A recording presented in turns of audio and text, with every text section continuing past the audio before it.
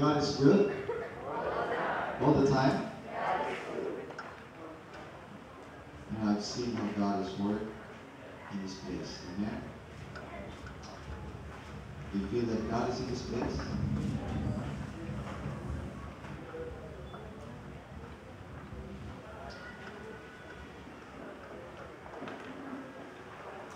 This day is almost the last day, but our hearts should be longing for more. Amen. And thirsting for more. Before I start, let me just tell you my message is about the Holy Spirit. And I pray that you would pray as I speak, that you would understand everything. Amen. And not only cognitively, I want you to understand it within your heart. That this is for us, this is for all of us. It is all about our hands. Gracious Father, loving God, who has appointed us to be born in this generation, who believes that in this generation you are going to use, Heavenly Father, young people to finish the work of the gospel. But we cannot do this, Heavenly Father, without, without the Holy Spirit. Unless we appreciate the Holy Spirit, unless we see our need of the Holy Spirit, we will not be empowered. We will be destitute of the truth and the power to convert souls. Today, Lord, please help your servant as I speak, as I express my gratitude to you for calling me and sending the Holy Spirit so that I could be used for the mighty work that you have entrusted to me. Thank you, Heavenly Father, for such an opportunity that I could speak again once more today to move the hearts of these young people through the power of the Holy Spirit. Help us, Lord, to remember your promise. Help us, Lord, to appreciate your promise and to know what to do with these promises. In Christ's holy name we pray. Amen. Let me give you a brief background of myself. I was born I was born in Muntinlupa, outside, until six years old. I was brought up in Mindanao as a Catholic by my parents. But uh, never did I know that my father was a Seventh day Adventist. Perhaps he was not baptized. I don't know if he was baptized. But he went out of the house, of their house, at 14 years old. So you can just imagine uh, the kind of parents that I had. I mean, I was not brought up. I was brought up as a pure, high, die-hard Catholic. Um, I used to be serving in the church as a choir member. I was also very active in the Legion of Mary. You can just imagine Legion of Mary going from house to house, carrying the the image of Mary and praying from house to house. And prayer was our key. And I was also very active in the in Columbian Choir. Have you heard of it? It's our junior Knights of Columbus. So I am very much trained in this kind of religious service. But while I was very active in religiosity, I was also rotten and rotten inside me. I was seeking for more. But you know, the more I strive, it's like a sinking sand. The more I strive to go up, the more I go down. I was very boastful and proud of myself. During my high school years, I would not go. To, I would go to school without a notebook, and I was thinking, I'm the brightest child here. I'm the brightest child without an honor. All shame. Until I come to my senses, because one of the one of the choir director, the choir director, was so concerned about our soul. He, she started to sing a song. It's entitled Kaya Mo Na Bang. There, I was able to realize that I could not without my parents. And I could not without God. So I begin to commit myself verbally. So as soon as committed, I committed myself verbally as a young man. I found myself in trouble. Why? Because when you commit verbally and people would listen to it and heard about it, then they would account you. Kala ko ba na? So, I was forced to change. The first thing I did was to really pray that God would change me because I could not. I was already entangled with pornography. I was entangled with vices, like sexual vices. I don't know how to come out of this, but I was praying that God would work through me. And during that time, I began to open the Bible. There was a little Bible called Gideon Bible. And during that time, I began to be watching televisions, religious televisions, Sunday and Saturday. Apollo C. Quiboloy was one of my best preachers during that time when he did not profess yet to be the appointed son of God. Iglesia ni Cristo was one of the things that I was hooked into when I begin to know about Jesus. But this time I was reading my Bible. I was even memorizing the Bible. John 3.16. And during that time there were even Spanish words in the Gideon Bible. John 3.16 was worded, Forte de tal manera amo Dios al mundo que ha dado a su Hijo unigénito no si freda mas uh, tenga vida eterna. These were words, exact words that I memorized within my heart. I began to share the Bible with my fellow Catholics, but there were more. I was searching for more, as if God wants me to learn more of Him. You know, the Bible says, you were searching the Scripture because you think that there is eternal life in it. But you are rejecting me. See, even if we search the scriptures, if we, if we reject Him, during that time I was searching the scriptures, but I was totally rejecting God because I still have the same vices that I have. I couldn't make a way out of it. I was praying to God, and sometimes during the Mahal na Araw, I would kneel down in prayer for like many days and fast many days, and still couldn't find an answer to my prayer. When I went to Manila to study my political science, you know, I, have, I have a very simple um, dream in my life to become the president of the Republic of the Philippines. Very simple dream. And I'm determined to do it. You know, I was a skeptic before I became a Christian. I was skeptic. I do not believe that people exist or everything exists. The only thing that exists in the world is myself. And everything else is a product of my imagination. I was thinking of, I, I was reading things like I believe that there is no God, that there are aliens that controls and manipulates the whole earth.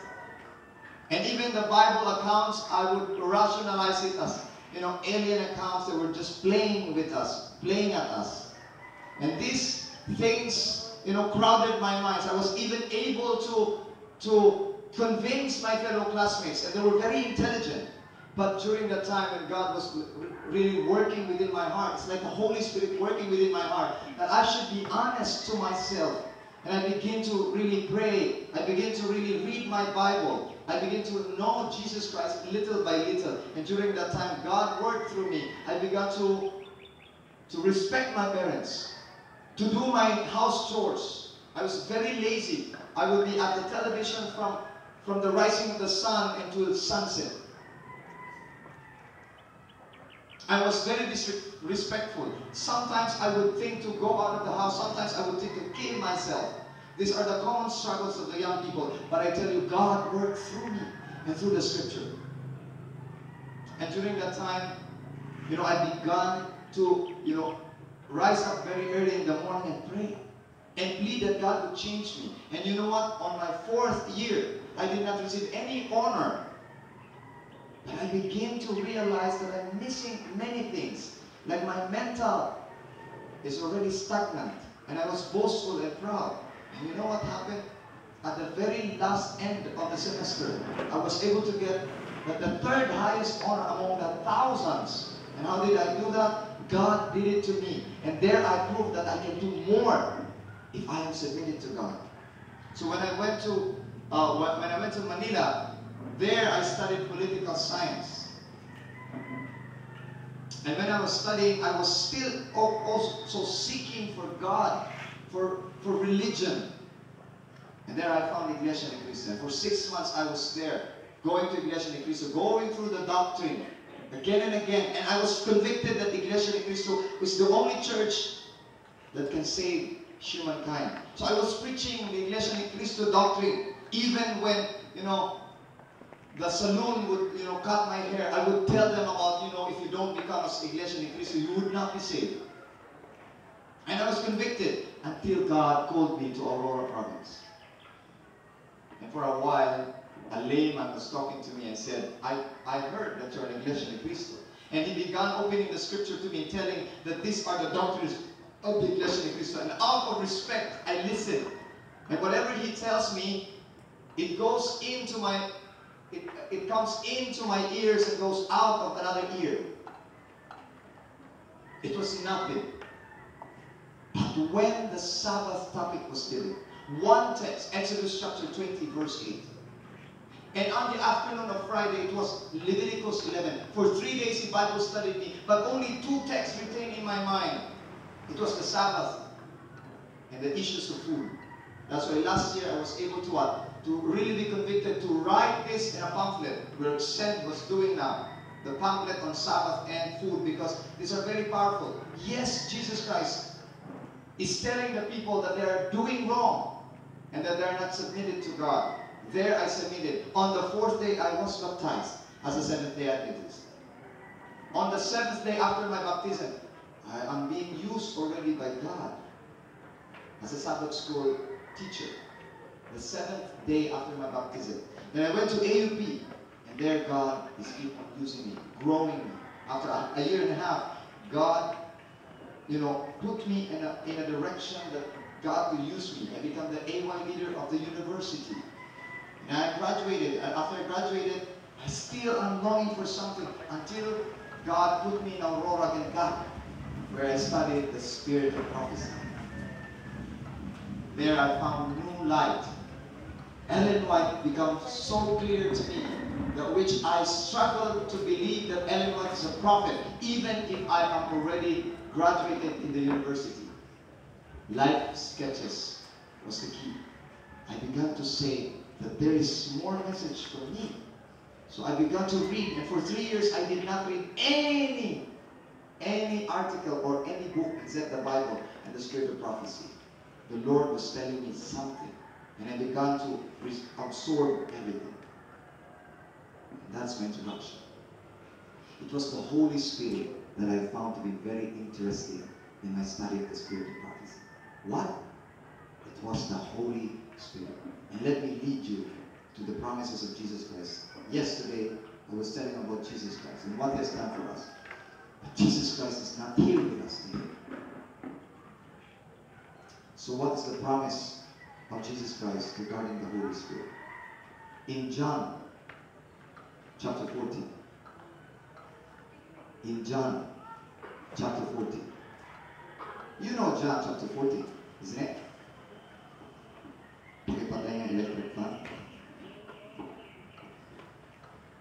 You know John chapter 14. Let not your heart be troubled. Believe in God. You believe also in me. Believe also in me. In my Father's house are many mansions. If it were not so, I would have told you. I will go back to the Father, will go, back again, and receive into my own. But what is going to happen in between? Amen? If I go back to the Father, what is going to happen in between? You'll be left alone, but not alone. Why? And he's telling now the promise of the Holy Spirit. He says in verse 3, I am the way. Yes, I am the truth. I am the life. No one comes to the Father but by me. But the problem is, I'm going out.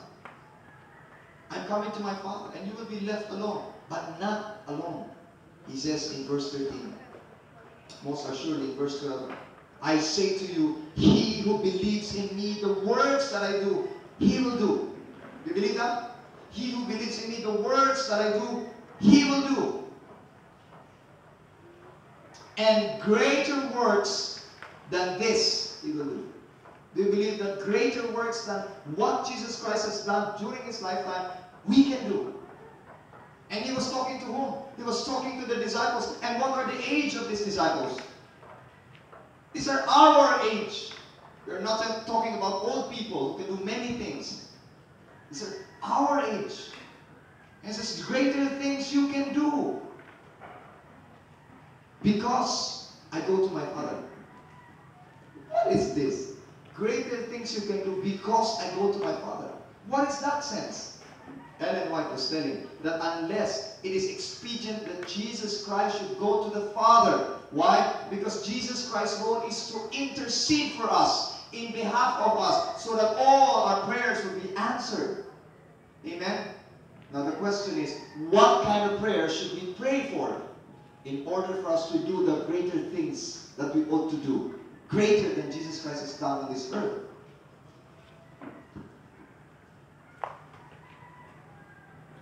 Interesting enough, the Bible says in verse 13, And whatever you ask in my name, that I will do, that the Father may be glorified in the Son. See, whatever you ask in my name, that I will do, so that the Father will be glorified in my Son. Now, let me ask you a question. If you be given a chance, three prayers that would be answered, what would you pray Oh, education, masteral, doctoral, house, love, wife, husband, children, wealth. But Jesus Christ is talking about something here very much beneficial, especially when he goes out. If the greatest person in the world is Jesus Christ, then you will long for him. And if you lose him, you will see the value. See, Jesus Christ was loved and longed by his disciples, but this time he will go and go to the Father and plead with the Father, who is going to remain here? What are we going to ask for? What is the greatest thing? Or should I say, who is the greatest thing we should ask for? And Jesus continued in verse 14. If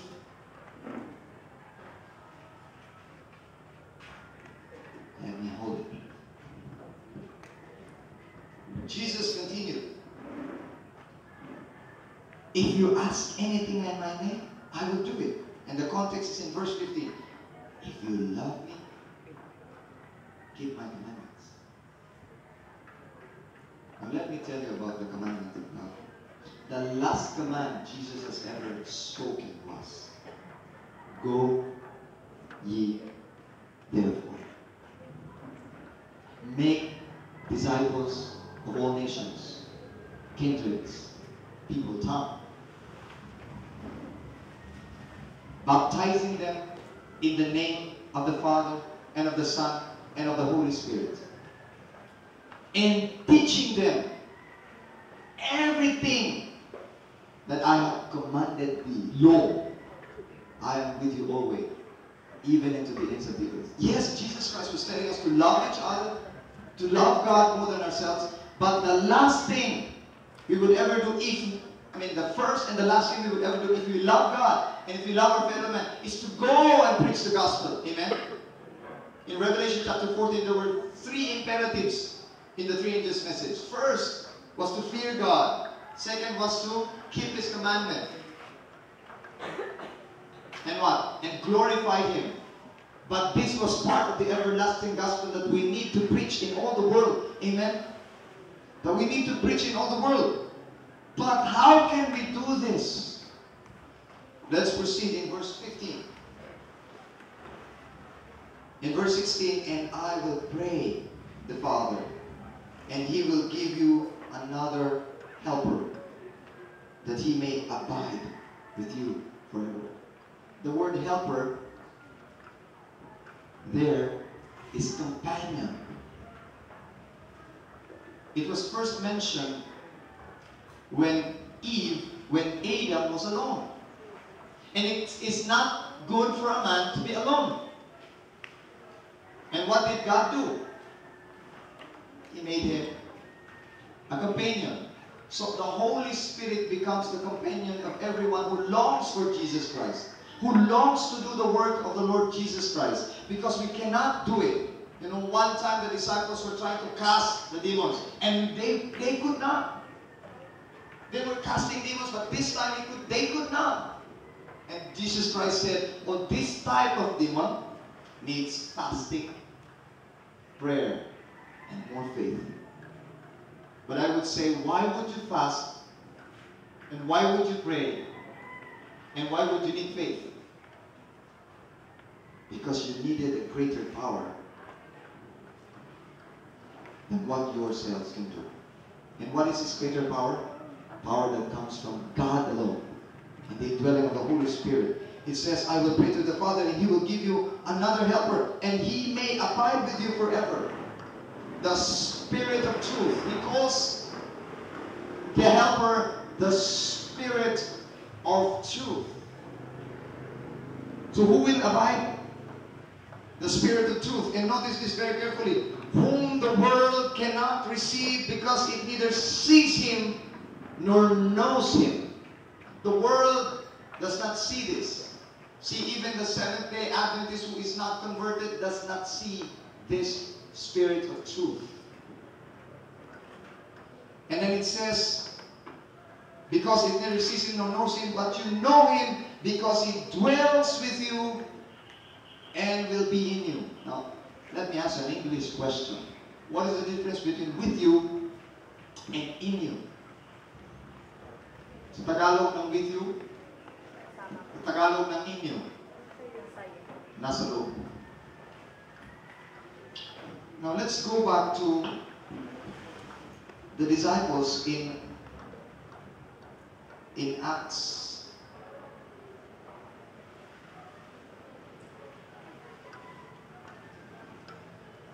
Chapter 19. Acts chapter 19, verse 2, it says, He said to them, Did you receive the Holy Spirit when you believed? So they said to him, We have not so much heard whether there is a Holy Spirit. Did you receive the Holy Spirit? Oh. What? The Holy Spirit. We have not so much heard about the Holy Spirit. Can you tell us about the Holy Spirit? So Paul asked, so unto what then were you baptized? So you were baptized. Then what then you were baptized? And he said, oh, baptized? Into John's baptism. Then who baptized you? He said, uh, me, I, I was baptized by Pastor Sato. But during that baptism, I didn't know about the Holy Spirit. I know that it's just a power, it's just it's somebody, but I, I, I didn't know that there's a relationship between me and the Holy Spirit. I know it's an active working in salvation, but Holy Spirit, what does it have to do with me? So John was saying, Paul was saying, John, John indeed baptized with the baptism of repentance, saying to the people that they should believe on him who would come after him. That is on Christ. See, John's baptism is a way, but not the gate. See, if you were baptized by, by a pastor, it's just a way for you to what to believe in Jesus. But he, but there is a much more baptism that we needed. It's not just water. It's not just swimming. Amen. So what does it mean by baptism of water? In Matthew chapter 3 verse 11. Matthew chapter 3 verse 16. Uh, verse 11 it says, I indeed baptize you. And this was the testimony of John. I indeed baptize you with water unto repentance. So what was the what was the purpose of baptism in water? Repentance. Repentance is metanoia. To change your mind from doing this to going here. From Satan to God. From sin to righteousness. So baptism is just baptism into repentance. So repentance prepares you to, to come to Christ. But he who is coming after me is mightier than I, whose sandals I am not worthy to carry. He will baptize you with the Holy Spirit and with fire. Now let me tell you about this. See, you were baptized by your pastor so that you could be led to Jesus Christ. But what is the most important is the baptism of this man whose sandals I am not worthy to untie. You know, when John has been done with his work, he says, I must decrease. He must increase. Why? Because if we know Jesus Christ, he will baptize us with a greater baptism. And what was that baptism? Baptism of the Holy Spirit and of fire.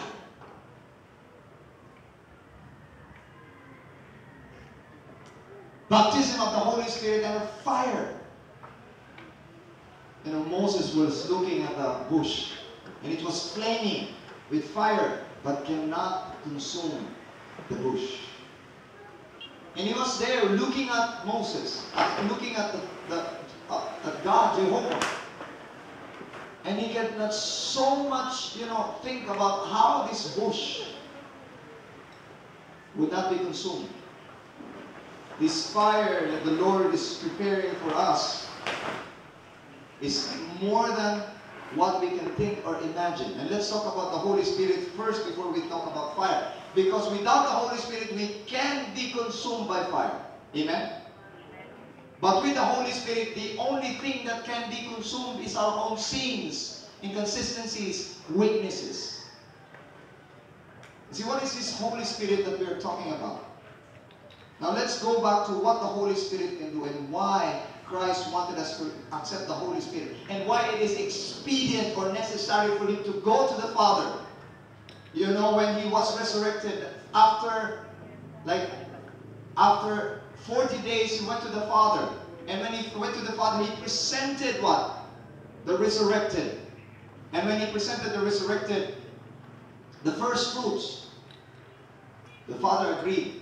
And for that time, he started to pour out and command the Holy Spirit to go down. And during that time, 10 days of prayer, what? Was devoted by the disciples. And they were praying for what?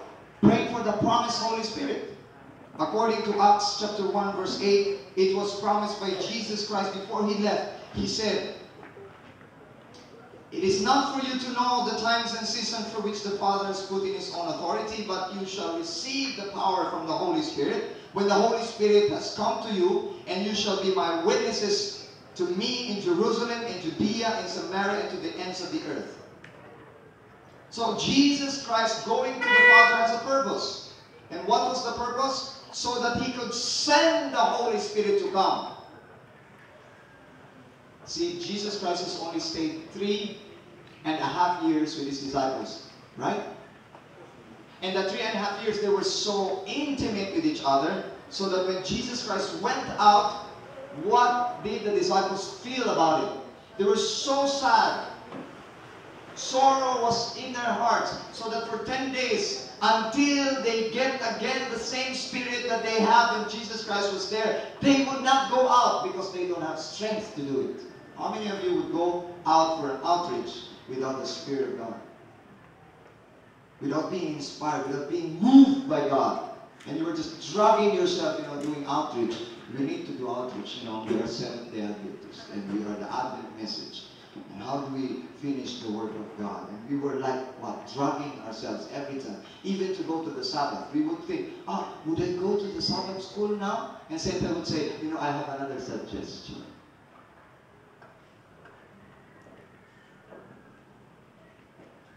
And Jesus promised that the Holy Spirit is coming. We should not be satisfied with just what we do. We should be what? Longing for this Holy Spirit. In verse 16, in, in, in, in verse 14, verse 20, uh, 15, verse 26. Please open your Bibles with me. It says, But when the Helper comes, whom I shall send to you from the Father, the Spirit of truth, who proceeds from the Father, who proceeds from the Father, meaning by asking the Father to send the Holy Spirit. The church was asking for the Holy Spirit. Jesus was interceding for, so that the Holy Spirit would come. And for 10 days, it took them 10 days to pray for the Holy Spirit. Then the Father sent the Holy Spirit here. And what was the main purpose of sending? Listen very carefully. He will testify of me. I was telling you, the scribes and Pharisees were reading the Bible, isn't it? And Jesus Christ was telling them, you were searching for the scriptures. You were trying to find eternal life. But they do, but these words supposed to be testified of me, but you would not receive me. You might be reading the Bible. You might be memorizing all the doctrines of the Seventh-day Adventists. You might be knowing all the texts from the Bible, but without receiving the power of the Holy Spirit. You cannot testify. You will be timid in testifying of Jesus Christ. It is the power of the Holy Spirit that gives us power to testify of the Lord Jesus. Amen. Pastor, I do not know how to testify. I do not know what to say. And oftentimes I would hear young people asking me, Pastor, what would I do when I go to outreach? What would I say? And I said to them, You do not need to know what to say. You need to ask for the Holy Spirit. Because when the Holy Spirit comes, He will testify of Jesus Christ. Amen. So our greatest need today is not eloquence. Our greatest need today is not what? It's not knowledge. It's not expertise.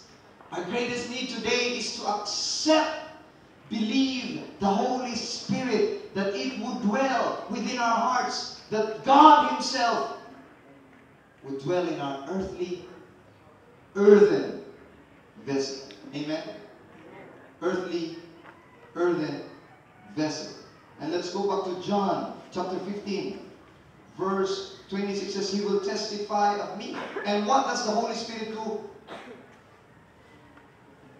outside of testifying? I mean, what are the additional things that He could do? In verse 7 of 16, chapter 16, verse 7 says, Nevertheless, I tell you the truth. It is to your advantage that I go away. It is to what? Our advantage that Jesus went away. Why? Because Jesus can only talk to few people. Like 12 or a thousand, but he could not go anywhere else in the world. Amen? He would be just there. In fact, he was just confined in Israel. But when the Holy Spirit comes, he goes to all people at the same time. Amen? And he performs everything that Jesus performed in simultaneously with all people. So it is, really necessary that he would send the Holy Spirit. He said, and if I go away, the helper will not come to you. But if I depart, I will send him to you. And when he has come, he will convict the world of sin. So how do you know that the Holy Spirit is there? When you are convicted of your own sin. Do you feel the convicting power of the Holy Spirit telling you your sins? And sometimes you are denying it, but the power was always there.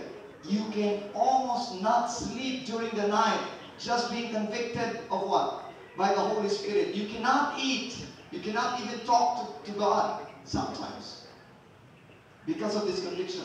But He does not only convict us of our sin, He says He convicts us of righteousness. He tells us that there is hope for us. There is righteousness in Jesus Christ by faith. Amen. He does not leave us to be convicted only of our own sins. He is convicting us that Jesus is our righteousness and of judgment. And he tells us that what? That in the coming judgment, if you are in the sight of God, you are saved. But if you are not in the sight of God, you are condemned. In Romans chapter 8 verse 1 says that we are not condemned, we, we are in Christ. Amen. Why? Because what we cannot do in our flesh, according to the law, Jesus, by dying on the cross in the flesh, He crucified the flesh for us. Because we could not otherwise do it. Amen. We could not do it by our own selves. Today, the Lord is giving us His chance to accept the Holy Spirit. And what does the Holy Spirit do to us when we accept it? In Ezekiel chapter 36, and notice this very carefully. Ezekiel chapter 36, verse 25 to 27. And I like this very very nice. Very nice words. 25 it says, Then I will sprinkle clean water on you, and you shall be clean. I will cleanse you from all your filthiness and from all your idols. Just as he promised that if you confess your sins, he is faithful and just to forgive you of all your sins and cleanse you from all unrighteousness. But he does not only cleanse us, he promises us better than this. And what is better than this? In verse 27, in verse 26, I will give you a new heart. Amen? Just like David saying, creating me a new heart, of God, and renew a steadfast spirit within me. We need heart transplant. We, need, we do not need heart renovation. We need a heart transplant. He says, I will give you a new heart and put a new spirit within you. I remember the first president of PYC was Ivan Dale Remucal. The same exact text that I use today were the same exact text I was using that night on the solemn night, 9 o'clock to 12 o'clock, when I was appealing for this voice of youth to receive the Holy Spirit before they go. And Ivan just what? Took a stone and banged the stone over the church roof. And we were shocked. What was that? And I was asking Ivan, what was that, Ivan? And then he said, oh, no, nothing. There were just, you know, people, you know, playing with the church. And I said, don't worry about it. The enemy is just actively working. And then he began to think about the enemy is active working. And during that time, he was in Apo, Alpha Phi Omega, he was my cousin. He was doing what? Doing all this stuff. And he was very angry because he has to attend the rock music over SM. And he could not attend because we were not yet, what? Finished with our Bible study. And during that time, at 12 o'clock, I appealed that why don't you all ask the Holy Spirit to be with you? At that solemn night, he tried. He was thinking, why is why are, am I so cruel with these people who has been so good to me? So he tried. He just tried to accept the Holy Spirit. The following morning, and during that night, we were not able to sleep because the night after that, Ivan was saying, and it was about 11 o'clock, he was saying, Kuya Brian, I feel that I have been called by the Holy Spirit to be a pastor.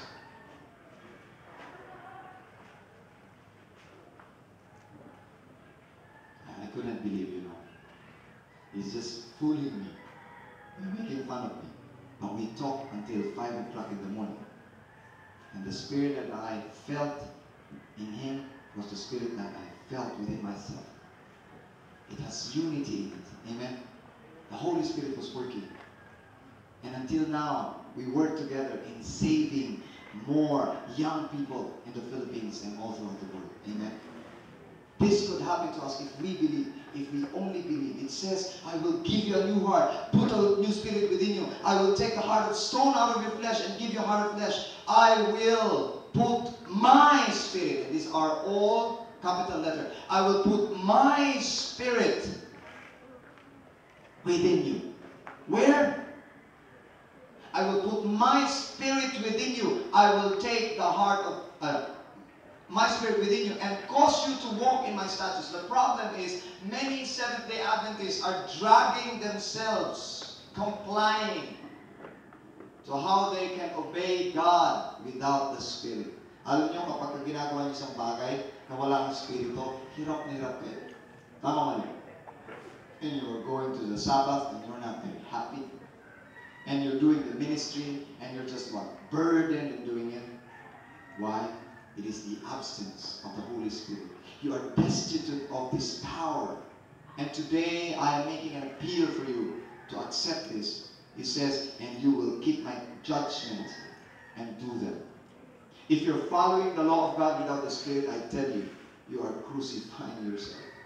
You're, you're, you're making hard for yourself to obey God. Without the Spirit, you cannot obey God.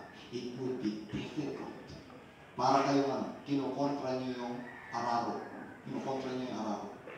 Ginagawa niyo isang bagay na totally against yourself. But because you are of the flesh, of the flesh you cannot do anything. But of the Spirit, everything is possible. Amen? Today, as you go for missionary work, do not do this out of compliance. Do this by the Spirit of God. Amen? by the Spirit of God. As I end, I would like to quote one of my favorite quotations from Ellen White in Christ Object Lesson. In Christ Object Lesson, I would like to pinpoint to you some of the greatest um, quotations I wanted. She said, before he left his disciples, Christ breathed on them and said unto them, Receive ye the Holy Ghost. We needed the breath that comes from God. Amen. So before, before He sent them, God breathed on them the Holy Spirit. Amen. You want to receive this breath? Amen. Do you want to receive this bread? What else is Ellen White? What's? What else did Ellen White say? Listen.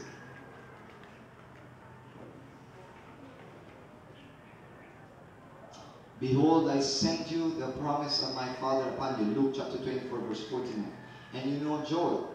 He says, I will give my spirit upon all flesh and make them what? Young people will see visions. Old people will dream dreams. And I like this. The promise of the Holy Spirit is not appreciated as it should be. Do you talk about the Holy Spirit wherever you go? You speak of Him, do you think of Him. It is not appreciated as it should be. Its fulfillment is not realized as it might be. Its fulfillment is not realized as it might be. You know, you Ellen White says you already have the Holy Spirit, but you have not appreciated it. You have not believed it. That's why it does not work as it might be. It is the absence of the Holy Spirit that makes the gospel ministry so powerless. Nagpa-Bible study ba kayo? Para pag Bible study niyo, tapos nabaptize siya, pagkatapos niya mabaptize, makikita niyo walang pagbabago sa buhay. Ang dami niyo na nabaptize, sobrang backslide lahat. Now you have to ask yourself, have you appreciated the Holy Spirit? Have you taught them about the Holy Spirit? Have you encouraged them? Have you talked about them? Have you really believed the Holy Spirit, convicted. If you're convicted by the Holy Spirit, I tell you, you can change the world. It was the conviction, it was the belief, it was the appreciation of the Holy Spirit that changes the young people. It is not, it is not eloquence. It is not learning, talents, eloquence, every natural or acquired endowment may be possessed. You may have all the things you needed, talents, endowments, learning, education. You may possess this, but without the presence of the Spirit of God, no heart will be touched. Yes, you might have all the texts you needed. You might have all the spirit of prophecy quotations you needed. But without the Spirit of God, no one will be touched. No one will be touched. No one will be converted. No one will be revived. It is the Spirit that revives the soul. It says, and I continue. On the other hand, and no sinner will be won to Christ. On the other hand, if they are connected with Christ, if the gifts of the Spirit are theirs, even the poorest and the most ignorant of his disciples will have the power that will tell upon hearts. Even if you have not studied at AUP or MVC or ENVA, even if you have not studied in Adventist elementary school or Adventist school, even if you only have a little education, if you have the Spirit, you have the power to touch hearts. Today, you are going out. And maybe you're thinking, I'm not equipped. I do not know what to say.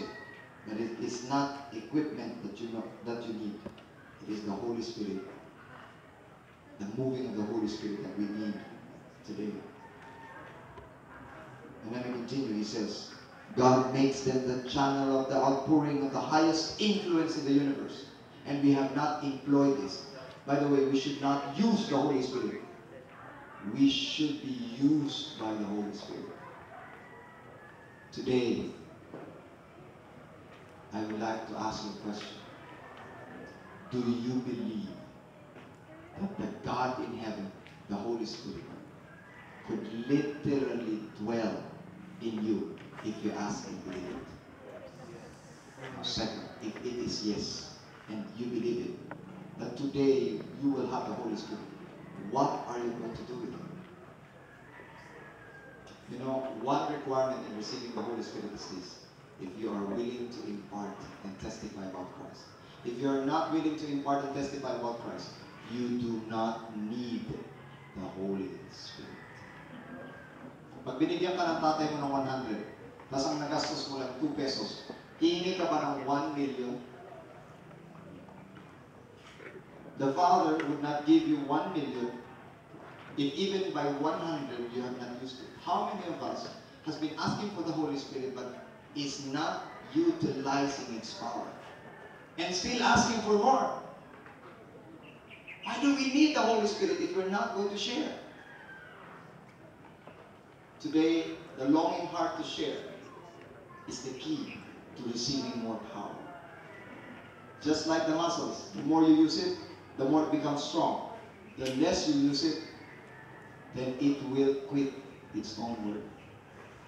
Would you like to accept the Holy Spirit today and believe that He would use you powerfully in saving souls and loving others? If this is your commitment, would you like to receive the Holy Spirit by simply manifesting it by going, coming up here, so that I could pray for you, that you might receive the baptism of the Holy Spirit and fire. Amen. Praise God. Praise the Lord. Praise God.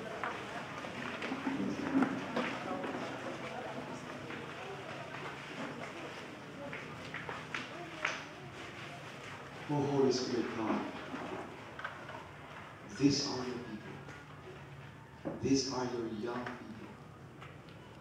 This is, has been, for many, many years, thousands of years, you have been longing to possess them.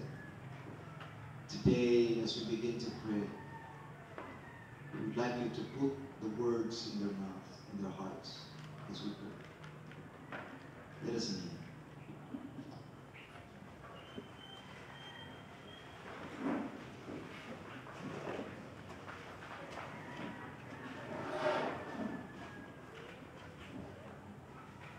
O divine God, the Holy Spirit, forgive us for many times you have appealed and continue to appeal that we would receive you. Many times the church has been speaking about you, but we don't even dare to deeply understand it. But today, you have given us a chance to hear and understand that the only thing missing is that you do not dwell in our hearts. So that our efforts counts to nothing. And even if our efforts are done with all our best, we lose Heavenly Father's souls because we do not appreciate the presence of the Holy Spirit. Today I pray for these young people. If they lack faith and belief, give them if they lack experience, give it to them, Heavenly Father, Heavenly God, O Holy Spirit. If they lack your presence, Lord, tell them. Tell us, continually convict us, continually manifest yourself in us that you are there to help us and that we could always ask and it shall always be given because you are already there within our hearts. This morning, Heavenly Father, these young people wanted to be used for the work. And yet, again and again, they would think that they cannot do the work because they are young. Let not let them not despise, be despised by others by thinking that they are young, because the Holy Spirit is not young in this work. And I pray, Lord, for, the, for your outpouring. Possess each and every one of us. Help us to understand that you are willing to work if we are willing to submit and to be used by you. Help us, Lord, not to use you for aggrandizement. Help us, Lord, not to manipulate your words and manipulate your will and your power. Help us, Lord, to be controlled by you, by thoughts, by reason, by heart, by feelings, and by doings. Today, you are the God that worketh in us both to our will and to do your good pleasure. I pray that you will work in their bodies, in our bodies. Our hands would touch the things you wanted to touch. Our, our mouth would speak according to what you want us to speak. Our thoughts would think captive to the obedience of Christ. Today we claim that promise. And we thank you that we could always have that promise because Jesus Christ is interceding before us in heaven. And we could always receive this power abundantly more than what we could ever ask or imagine.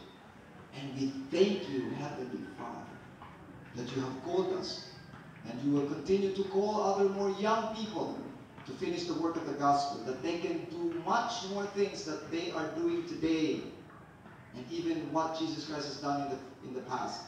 Because you are calling us, Heavenly Father, for active service, not sitting, not thinking, not longing, but doing the work of God. Send them, Heavenly Father. Send them with power and send them to the, all the corners of Bicol, baptizing people, converting people, and leading people to Jesus Christ in the power of the Holy Spirit. I claim and I thank you for this baptism that we are about to receive and we have received through faith. All of this, Lord, we ask in the loving and sweet name, in the powerful name of our Lord, Savior, Jesus Christ. Let everyone say amen. amen. God bless you. God bless you.